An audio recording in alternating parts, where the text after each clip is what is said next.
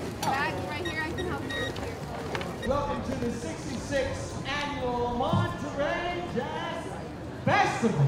The wait is finally over as music lovers fill the fairgrounds for the 66th annual Monterey Jazz Festival. Just the variety of musicians here are just incredible. And I always find somebody new that I haven't heard before that I really fall in love with.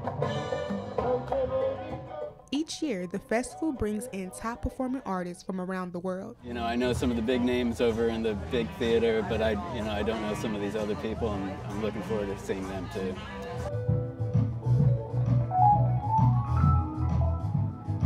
Johnny Gray has attended the festival for over 40 years and has witnessed a shift within the artist.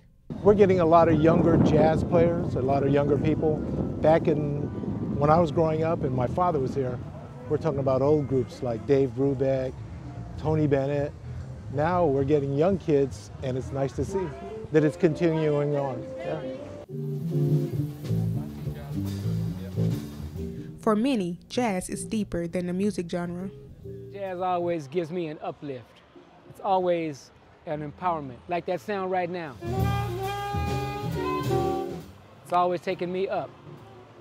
It never stops. So I appreciate those who um, focus on their craft and mastering it, and then they bless us with that sound. And that's healing. And we, I know I need it. We all need it. Reporting from Monterey, California, I'm Alexis Hood, KTSU 2 News.